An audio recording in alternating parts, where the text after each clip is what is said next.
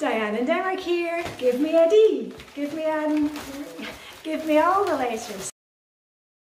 Quick check-in with you today to show you what I have been decluttering since last week.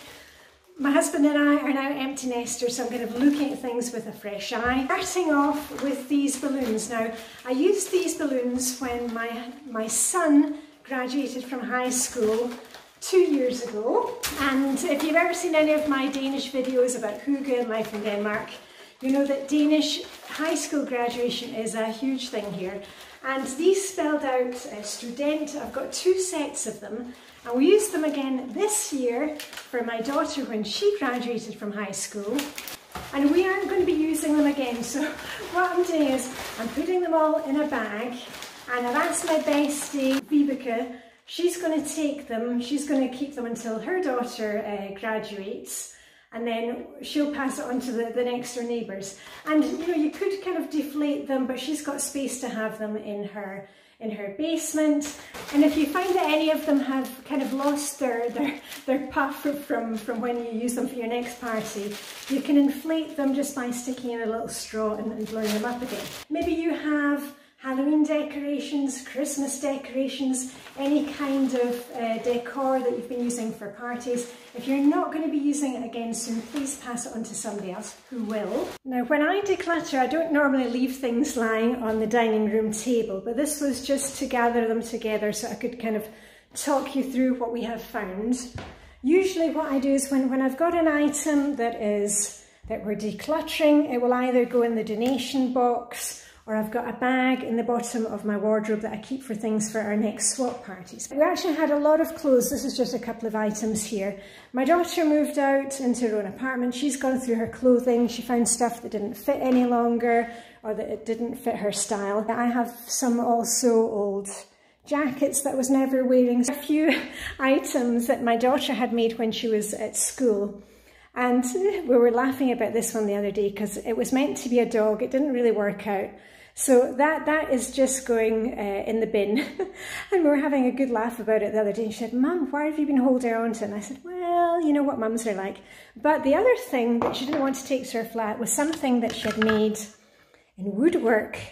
Gosh, years and years ago. And I had it in the kitchen. I've actually brought that out again. So you may have noticed it in my video uh, the other day. That is now pride of place in the kitchen. And it's just something she cut out in woodwork, but it's just a, a, a nice memory of her. So, so that is back in the kitchen.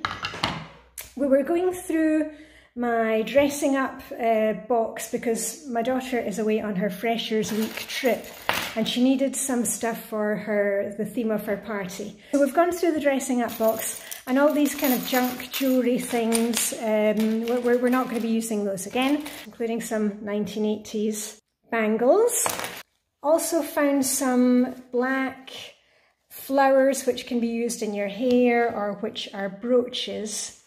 Here we are, one here. Uh, my daughter took some of them. My daughter's type 4 in Dressing Your Truth. I'm a type 1 in Dressing Your Truth. I'm never going to wear these. Bestie Vibeke will love these because she always wears uh, things in her hair or brooches. So I'll ask her about those. Perfume that nobody's using.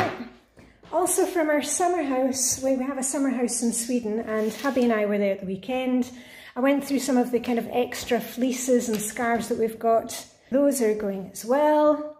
A lot of DVDs that had somehow ended up at the summer house and that we're never going to watch. And then we have some kitchen items. Now these were bowls that we used to use when we had a set with plates. My son took the plates uh, and I've never really been keen on those bowls. So those are going either to my son or my daughter, all the kind of kitchen stuff and all these things, of course, ask them first. And then if they don't want them, then they go on to the swap parties or they go to the charity shop. Belong to my daughter. I'm not sure if she'll want to have it for her flat. Some extra kitchen utensils. Maybe the kids want those. From downstairs, I found some things. This was from our craft box. Those are going. And then the final thing that we thought about this week are all the Wii games, the Wii Fit board. Uh, we're going to check with the kids because I think the, the kids are deciding which of uh, which of them wants to hold on to. And we've always kept the games, that's just to show you which games we had.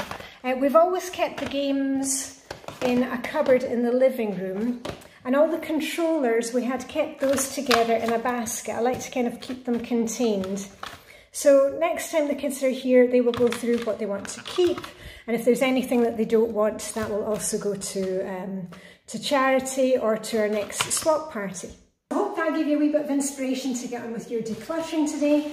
What can you declutter here and now? Whether you are like us, empty nesters, perhaps you're moving to a new house, maybe you're going to your first college dormitory.